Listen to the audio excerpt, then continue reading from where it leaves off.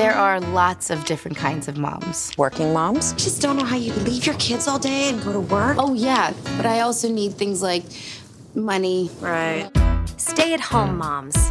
Oh, dad moms. That's a cute backpack. Oh, yeah, I'm such an Elsa.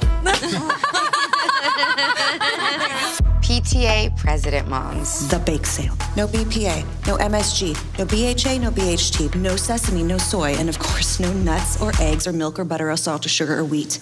But no matter what kind of mom you are. Oh my God. Oh, boy.